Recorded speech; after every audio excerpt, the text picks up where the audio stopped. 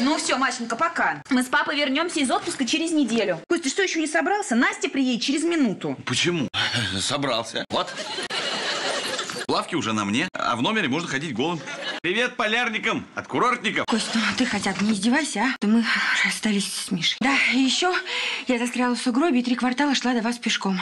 Потом я сломала каблук на новых сапогах и отморозился мизинец на ноге. По радио передали, что из-за снегопада закрыли аэропорт. Блин, Так что вы никуда не летите, а я остаюсь без машины, сапог и парня. Похоже, я осталась старой девой, да еще без мизинца на ноге. Э, это еще что такое? По-моему, отключили электричество. а по-моему, Настя, это все из-за тебя. Потому что пока ты к нам не приехала, у нас все было хорошо. Попробуем нашей машины вытащить твою. Да, главное теперь, чтобы ваша машина тоже не застряла. Не каркай, пожалуйста. Пап, а мы никуда не улетели. Нам нужна твоя машина, потому что моя застряла.